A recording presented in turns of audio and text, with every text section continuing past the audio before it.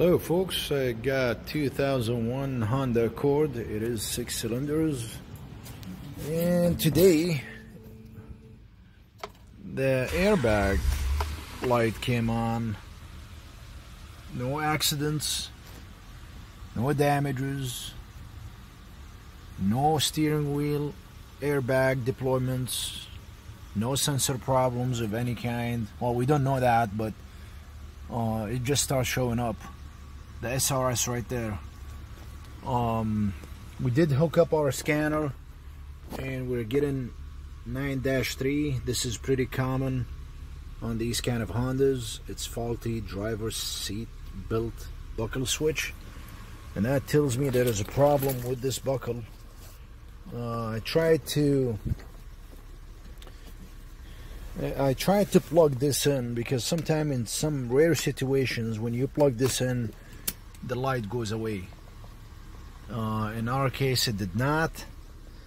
Um, I, I tried to erase this code.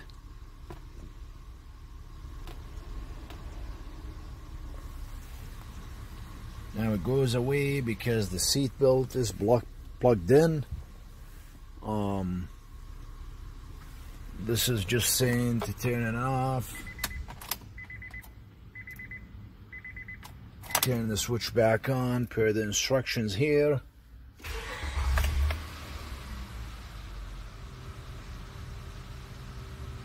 Airbag light is back. And again, I showed you how we erased it and it came back. And if we do another scan, it's still showing its faulty driver seat buckle. Um, so again I'm gonna I'm gonna go ahead and remove the seat. And let's look at the okay that looks like it is size 14 let's go ahead and get our impact gun with size 14 I'm gonna try to go with the swivel first and see if we can remove it using the impact gun without a ratchet. Oh, let's see. Okay,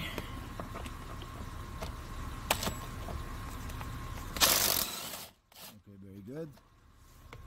Next one.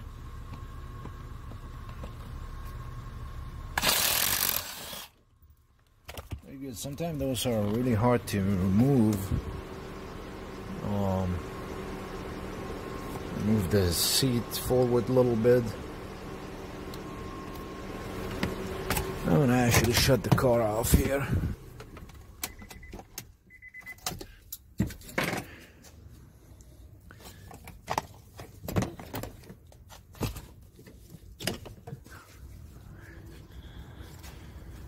Move to the back seat. Oh, this door is open. Uh oh.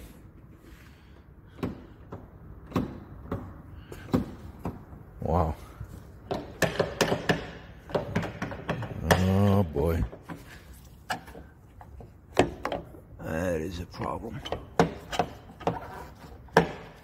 That's gonna make my life harder. Oh man.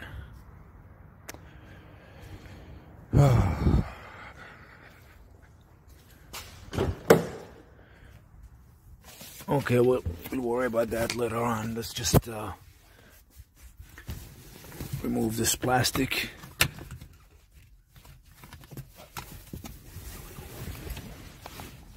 To uncover the size 14 bolts.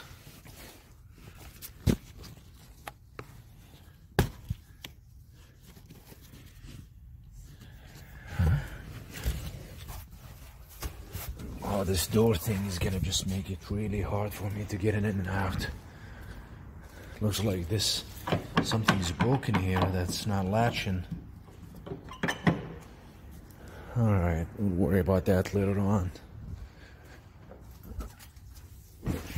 And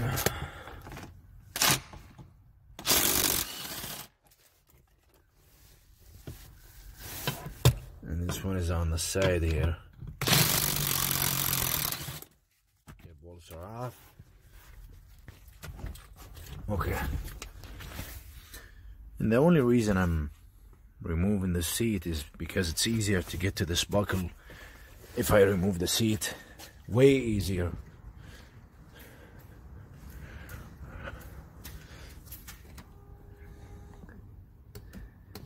Okay, let's see. And what I normally do is I just tilt this just like that make sure you know these cables are still hooked in case you want to test things and okay it looks like we got Phillips screw one two and three of them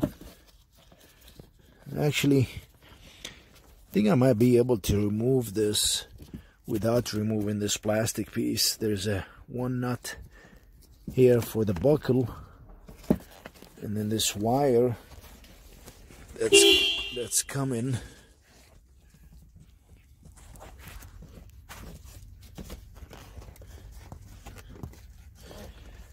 Let's see where this okay it looks like this is the wire right here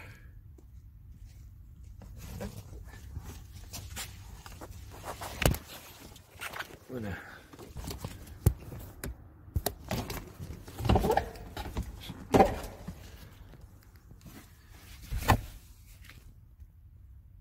Oh, there you go. That's the wire that's going to the buckle. And it's plugging in right here. This is it. So I'm to unplug this. And remove this and I'm to get a size 14 gear wrench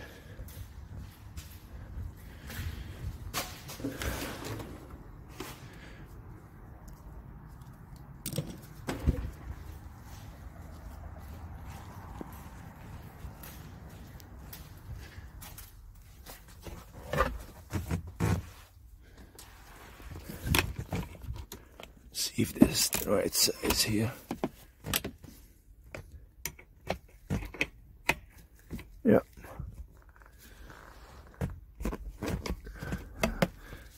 Okay, let's see.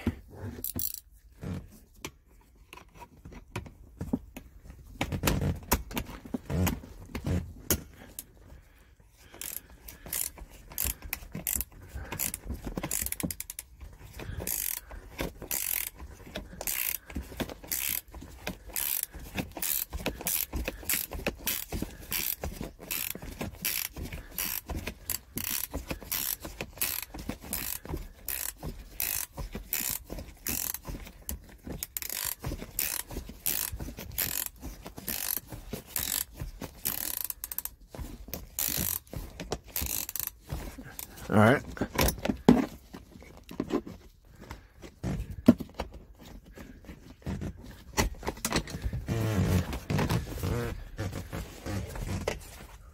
Let me get my light so you guys can see what's underneath. And then I'm gonna get actually my uh, clip remover.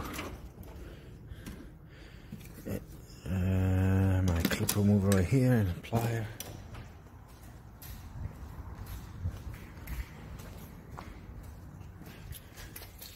So first thing is lighting.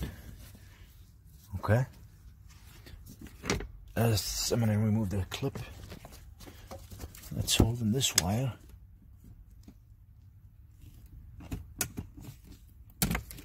Okay. And for this, just gonna pinch it easy and push you need to pinch this and then push. There you go. Alright, that's it for the buckle. Like you guys can see, this took me a couple of minutes. I'm used to do this. I'm used to doing this. Um, if this is your first time, just be patient and just follow the instructions um, on this video. It shouldn't be too bad.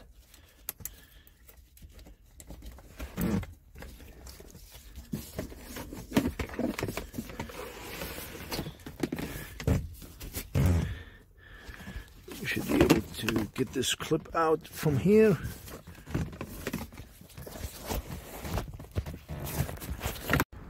Okay, so guys, I, I removed this.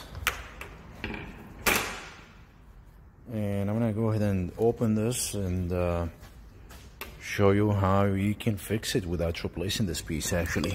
This is pretty common on these Hondas. Um, so using something like this just to pinch it and open it. See if I can uh, put my camera down.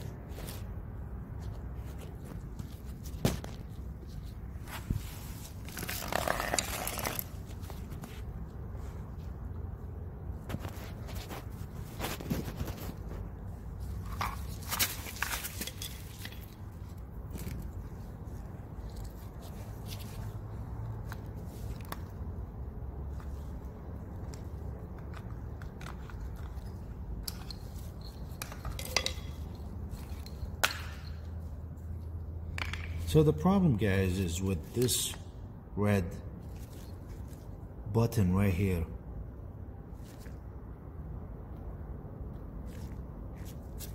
Right here.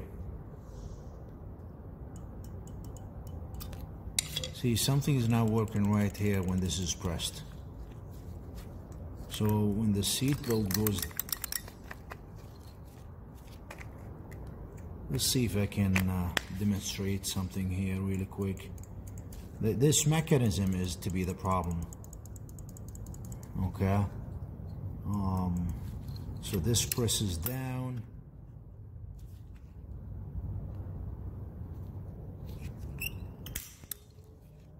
When you put the seat belt in, it presses this down all the way and then this button gets clicked. And then when you release it goes back. So what I'm gonna do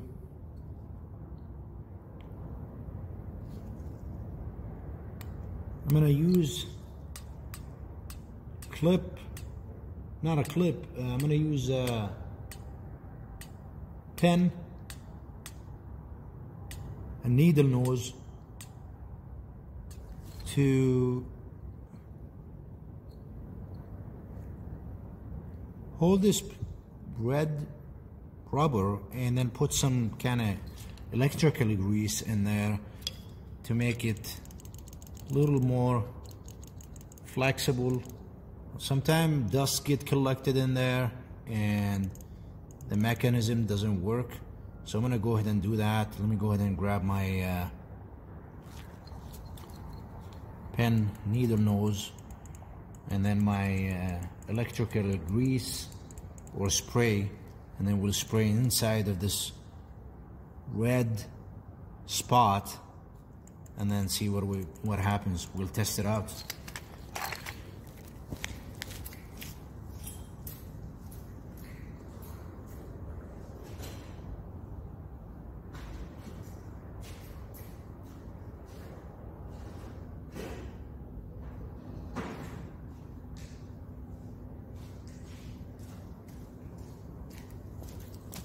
Okay, so this is what we're gonna use. Something simple like this.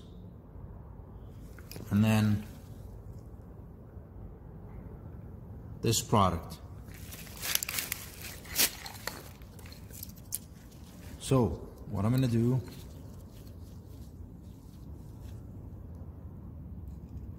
I'm gonna actually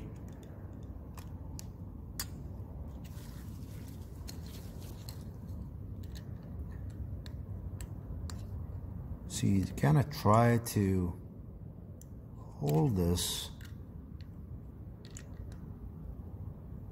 so we can have a place to spray this product on. And you don't, you don't want to overspray just a little bit, just enough to make sure the camera is focusing here. Just enough so it goes inside with this red rubber. All right.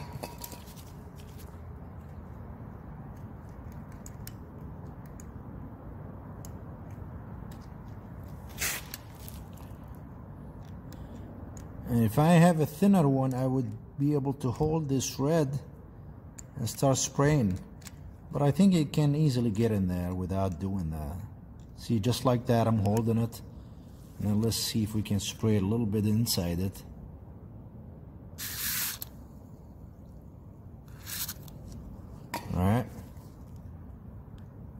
Make sure that grease gets in there.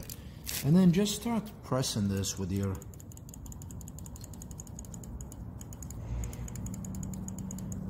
with your hand just doing it real quick make sure the grease goes in there and then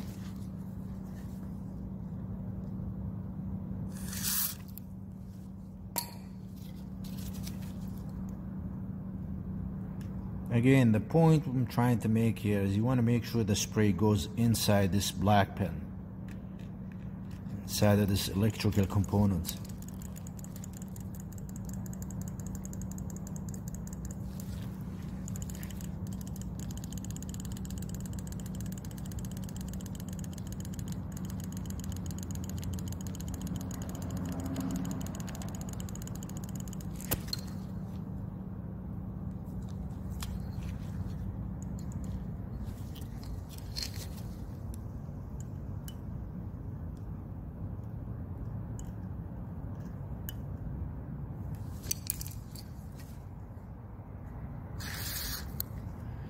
I think this is enough. Okay, so put this cover back on.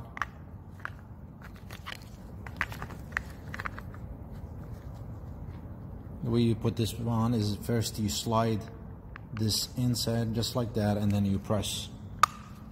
Once you hear the click, that means you're good to go. There you go. This is all we need to do.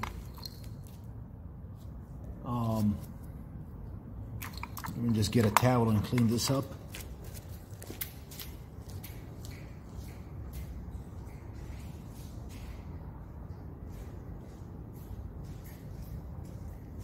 Uh, just gonna clean this with a rug and uh, from the grease and that uh, spray clean my hands and uh, Let's go ahead and test it out.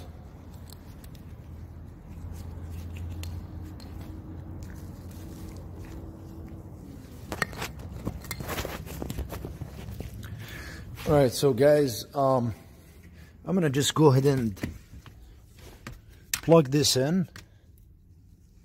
And that's all I'm gonna have to do for now.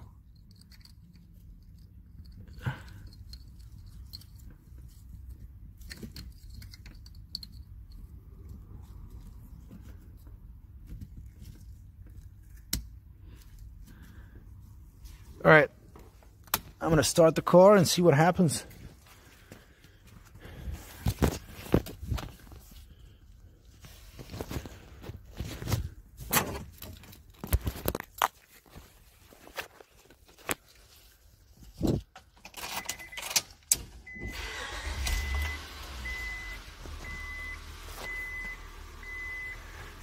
This light might still be on because we need to clear it.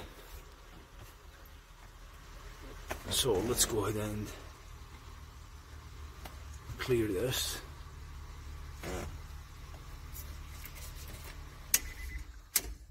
Ignition on, engine off, yes.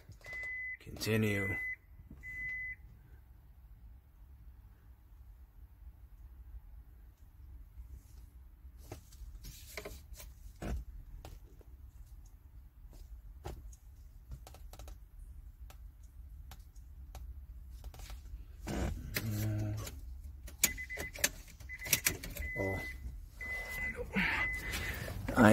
Unplugged this. That's kind of silly. Well, I'm, I'm going to actually keep this part just in case you guys do the same mistake that I do. So you guys remember. I'm not going to delete this part from the video. Alright.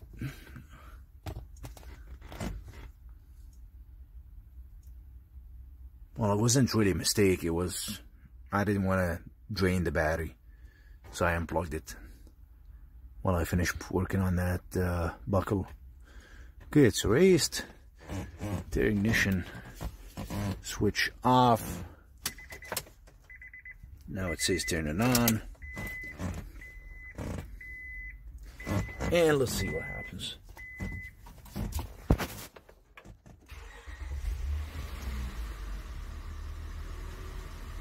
No light voila. Read codes.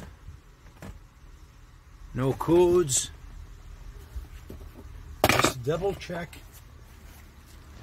I'm gonna shut this off. Turn the car back on. SRS is gonna go away. And it did. We're back in business. Hey guys I'm gonna hook back everything back to the way it was in reverse reverse order. And you know for this you need to put the buckle in a place first and then run the wire from the back from the back here. Okay? Um that's probably the easiest method to do this. Thanks for watching guys uh, and have a good day if it's a daylight and have a good night if it's evening we'll see you with another video